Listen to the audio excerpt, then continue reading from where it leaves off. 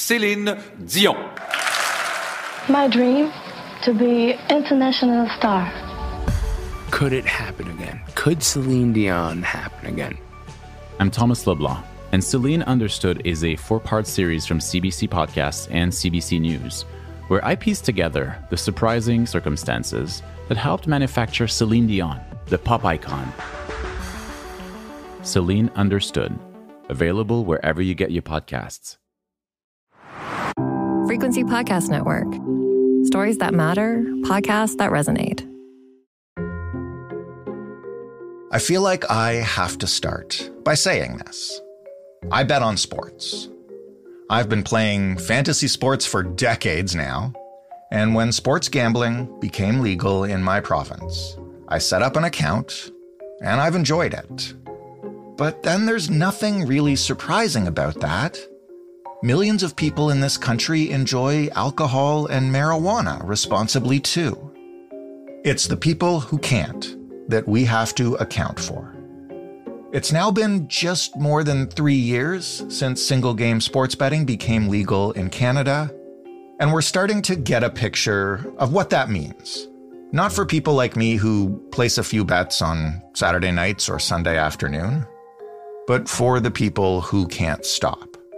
The people who would previously have had to travel to a casino or use the black market but now have it available to them every waking moment on their phone. As you might imagine, the outcome for those folks has not been good. So, was there anything that could have been done to mitigate that from the start? What factors in the regulations around online gambling, if any, could have made a difference here? What could we do now that might change things? And while provincial governments are busy raking in billions of dollars in tax revenue, what kinds of resources are they making available for those people who just can't stop?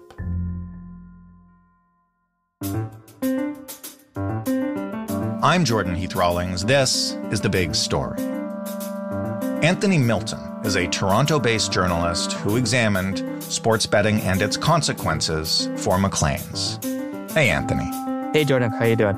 I'm doing great. Thanks for finding a little time for us. No, my absolute pleasure. It's uh, it's been a big story, so can't wait to unpack it. Yeah, I mean, we like to start with some examples, and there's an example in your story that I think is uh, tragically probably familiar to uh, some people listening. So why don't you just start by telling us about Phil? Uh, who is he, and what happened to him? So he's a man who lives in London, Ontario. You know, he's middle aged, and he's got a job at a, a food company. And he's had a bit of a rough time of it even before sports betting and online gambling entered his life. So, you know, about 20 years ago, he, you know, was living beyond his means in various ways, spending too much on vacations and life and alcohol. And he found himself going very deeply into debt. Uh, divorce didn't help him either. And he wound up, you know, some 30 grand in the hole around the time that Ontario legalized sports betting in 2022, he started to get the idea hey, you know what? A lot of my friends are doing this and they seem to make money and the odds are really good. I'm just going to try it out, see if I can make some cash here and there. Now, these sports betting apps, they're also casino gambling apps as well. There's just a little tab at the bottom out of a lot of them that you can press, and you go from betting on a football game to suddenly seeing 12 roulette wheels spinning on your screen at once. Right. Well, Phil did that and he saw the roulette wheels spinning and he thought, hey, I could probably make a lot of money off of this.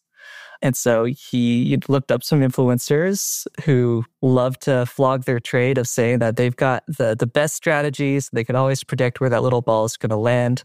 And he said, All right, I'll pick my own number. I got my own strategy. Let's do this.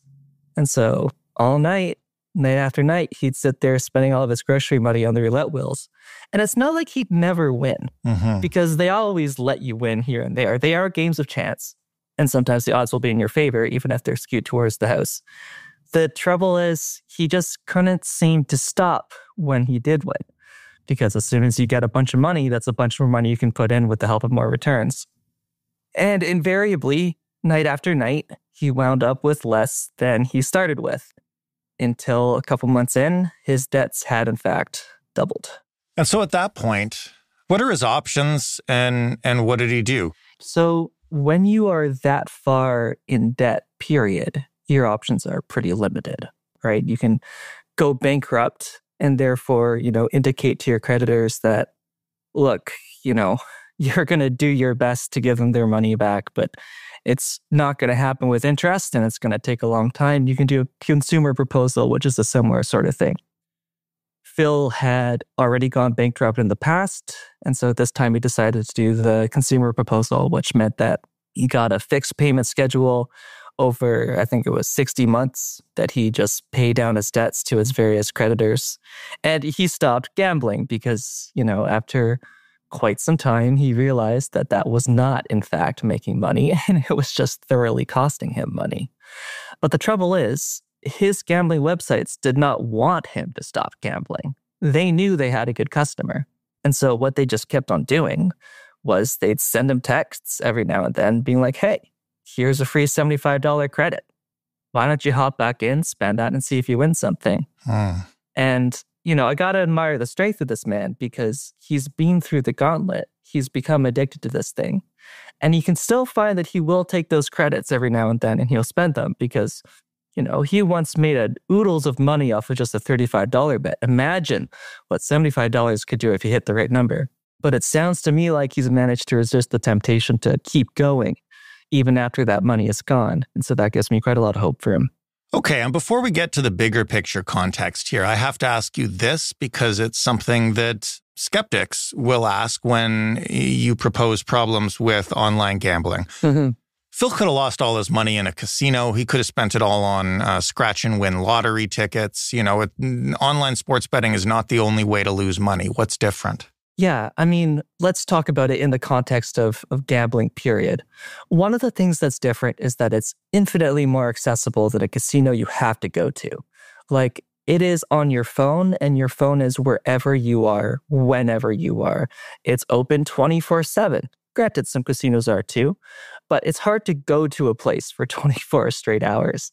So it's way more accessible. It's way, way easier to use. And it's easier to use for a really long period of time.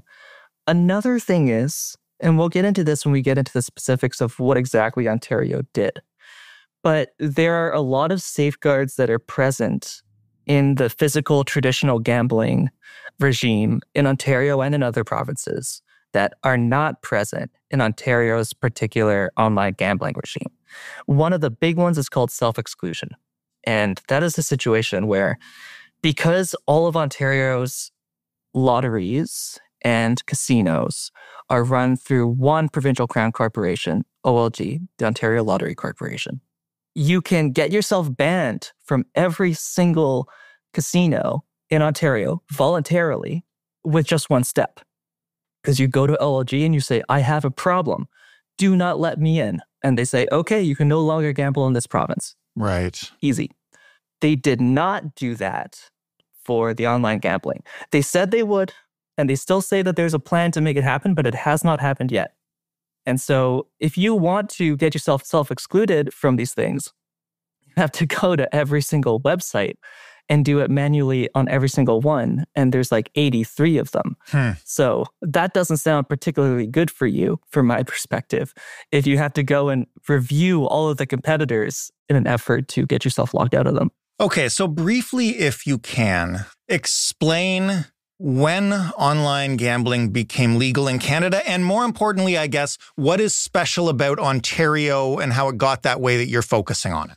So, it'd be useful to start a little bit beforehand, which is prior to 2021, online gambling and sports betting specifically was not a thing in Canada legally. So gambling existed. It was run through all the provincial crown corporations like OLG and its equivalents in various provinces. But if there was an online gambling site in, say, the UK that was offering poker or blackjack or whatnot, or sports betting online, there was nothing stopping me as a Canadian citizen from making an account there, giving them some of my money, and then gambling on their site. And then getting my winnings back because I give them money, they give me money. No different than any other online vendor or service. Uh, the issue was none of that was regulated and none of that was taxed. Hmm. So the government didn't get the same kind of windfalls that it did from normal gambling. And also, consumers didn't get the same kind of protection they did from normal gambling.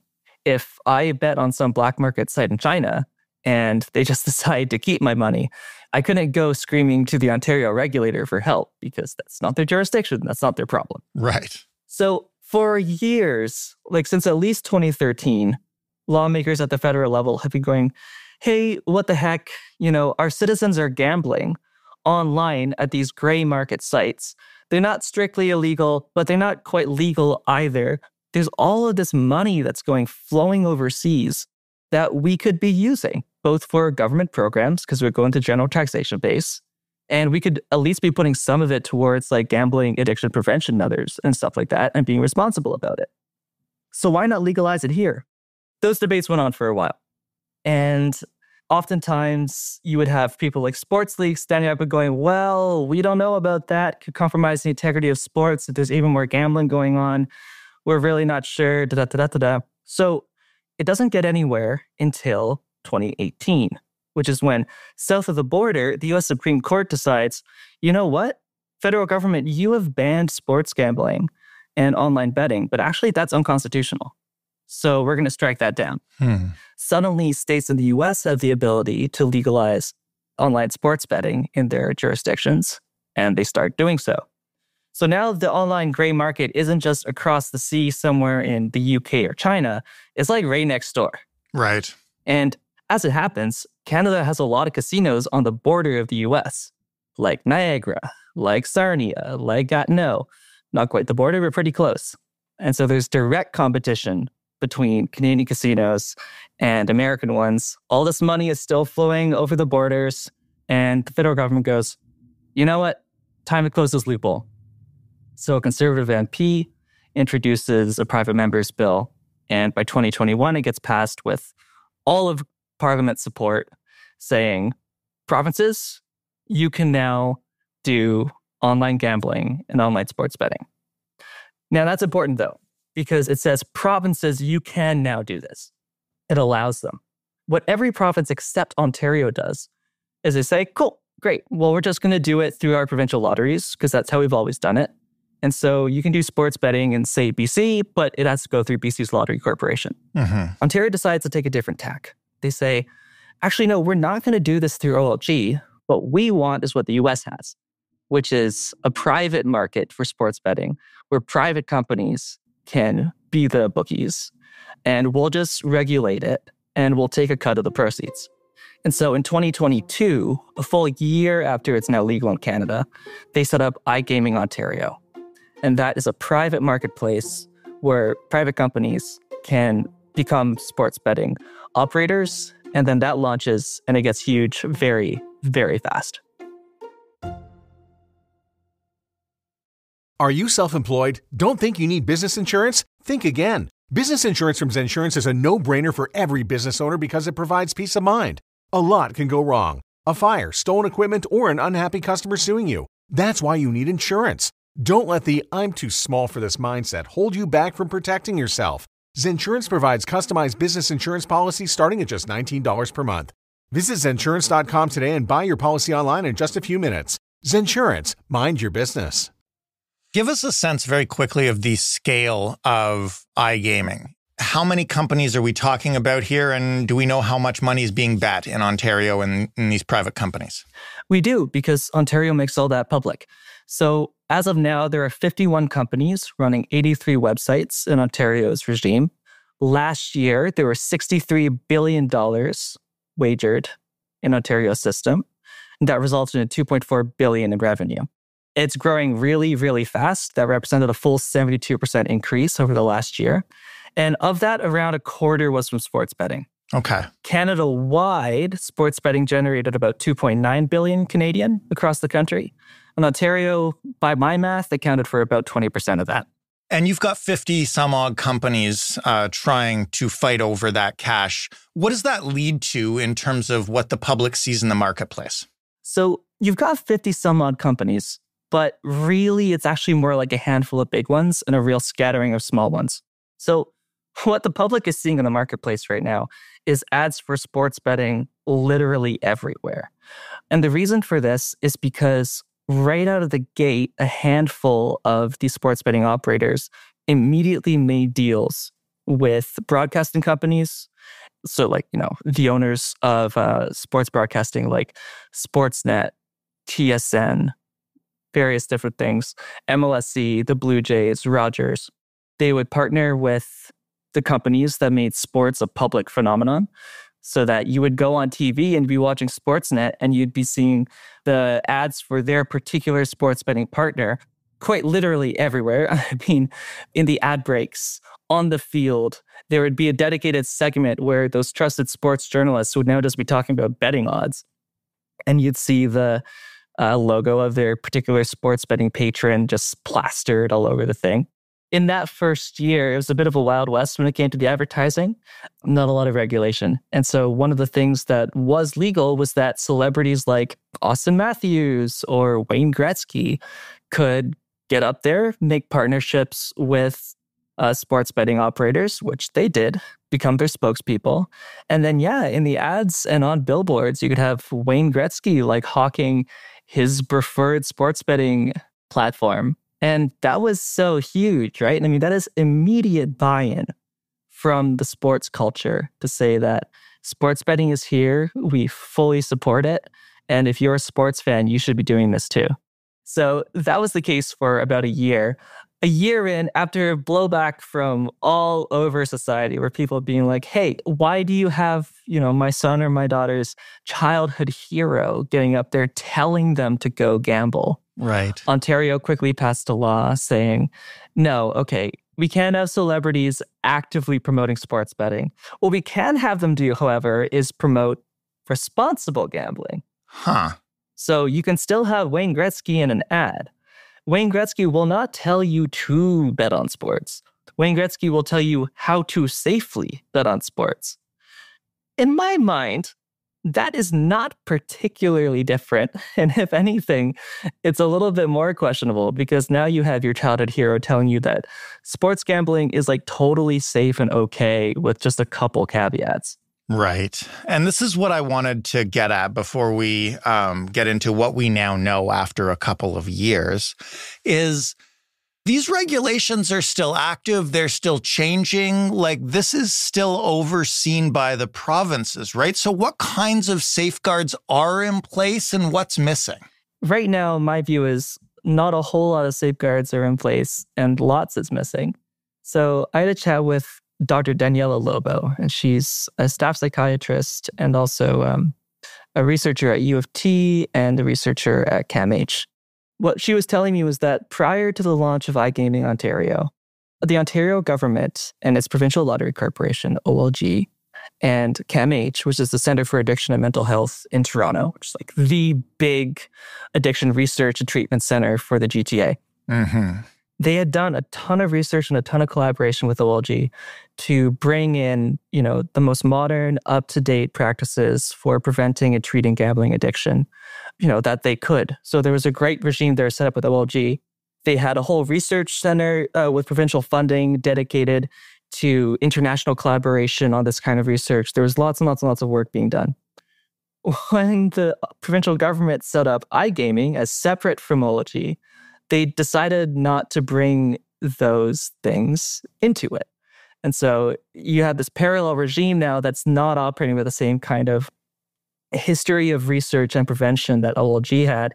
And they also cut funding from that body that was dedicated to research, uh, interdisciplinary and international research, and instead redirected that funding entirely towards front of line treatment for people with gambling addiction, which isn't bad. Like that is good stuff to do. But to me, when I see that, I'm like, wait, so you know that there's about to be a huge problem because you've just thrown money at it. But you've also, in doing so, decided not to know more about that problem. It's a pretty stunning display of priorities. What do we know about the demand for frontline treatment for gambling addiction uh, over the past couple of years? Have we seen a dedicated increase? We have. So, CAMH, that same organization, they run a helpline for gambling addiction that is posted in various different places across OLG's regime and in various different places across the New Gambling regime. Is this that number that you call at the end of the commercials when they say that number really, really fast if you have a gambling problem? It's one of those. Yeah. Yeah. Try to catch it if you have a problem. Yeah. So you call that number, and if you're in the GTA, you get CAMH. And CAMH does a very good job at recording who's calling into that number, what they're calling about, and when they're calling, and so on and so forth. They collect all that data, and they compile it, and they see, okay, well, what's going on? What they found is calls plunged during the pandemic, obviously, because people weren't going to casinos anymore because they weren't open. They slowly started to creep back up. And they really started to creep back up as soon as Ontario legalized online betting and sports betting. They climbed big time. And online betting went from being a very small proportion of their calls, which is obvious given that it was only illegal or a gray market, to a very, very solid chunk, the fastest growing chunk. Of that, about a third was related to sports betting what they found is that the callers tend to be young men because uh-huh. is the demographic that sports betting and online gamblers go to. Women, as it turns out, if and when they get gambling addictions, it tends to be later in life when they're in their 30s, but men start young. And I was talking to one of the researchers there, Nigel Turner, and he was saying that there's something very, very attractive about the sports betting regime to young men because young men, they tend to like sports and they tend to like sports stats. They're digital natives. You know, we're talking Gen Z here. They've got access to all these websites telling them, you know, what Auston Matthews is going to do next, most Right. likely, given, you know, his track record and how many goals he's got and whatnot. And those kind of things can be bet on. And the sports betting companies actively, actively encourage this notion that you can be like a securities trader for sports. You can look at all the data and you can figure out what's happening next. And you can place your bets accordingly because you're so smart and you've got the skill to predict what's happening next. In Nigel's words, for men, the illusion of skill is enough. we love to think we know what we're doing. Right. We're going to put some money on the line. That's why my fantasy football team's in last place. Oh, we can talk about fantasy football because that is the progenitor of all of this. But yeah, the delusion is enough. What no one remembers is that the very platform that's allowing you to do this has more data that you could ever dream of having. They're the Right. ones spoon feeding it to you or drip feeding it to you.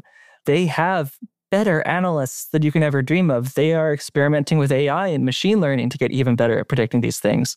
And their entire livelihood is based on setting the odds that more often than not, they will win and you will not. When you talk to the experts about this, what kind of safeguards do they say could be in place that could help with this if we're going to assume and I I think we should at this point that this genie is never going back into the bottle in Ontario or anywhere else.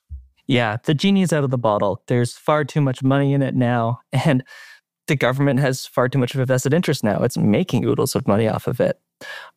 What I've heard from experts and also concerned citizens is that the marketing needs to be reined in big time.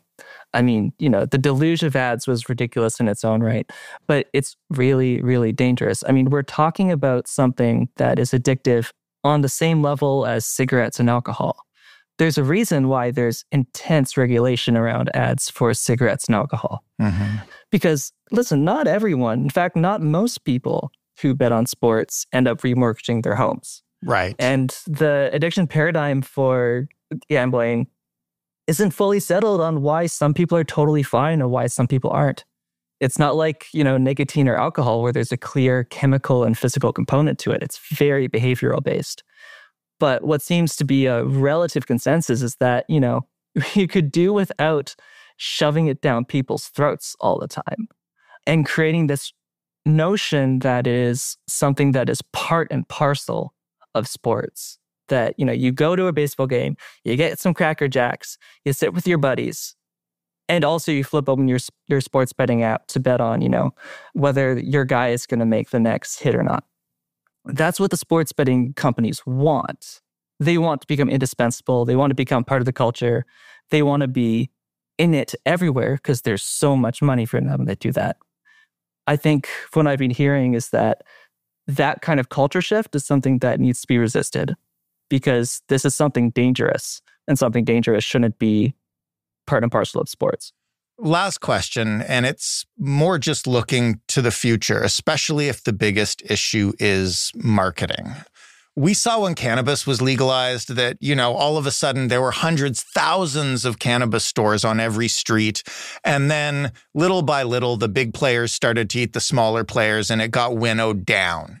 Is the same thing not going to happen here? And wouldn't that diminish the marketing, uh, at least to some extent? What should we watch for there? Yeah, that's a really good point. So that's what happened in the US. I mean, like we mentioned before, this grew out of fantasy football. And before sports gambling was legal in the US, there were two really, really big fantasy football companies that got enormous FanDuel and DraftKings. And those two cornered the market together. They became what was called as the fantasy football duopoly because there were just two of them. And in fact, they tried to merge at one point, and the US Competition Authority shut them down um, because they said, no, you would literally have a, mon- a monopoly over like 99% of the market. Right now, both of those companies are active in Ontario, but there are also local entrants like the Score that are giving them a run for their money. I asked Ontario would not give me a market share breakdown of our various operators. So it's unclear to me whether we have a duopoly situation or whether the market is more mixed up. What I've heard from loads of people in the gambling industry is that competition remains super, super stiff. It's still a mad dash to stay dominant or even stay afloat in this market. So we're in a period of turmoil right now, and it's not clear to me how things are going to shake out. That definitely drives a lot of the marketing. However, say just FanDuel becomes, you know, the hegemon of the Ontario sports gambling market. It's got like 80% market share and no one can challenge it. I think we will still be seeing FanDuel literally everywhere because they want to be an indispensable part of sports.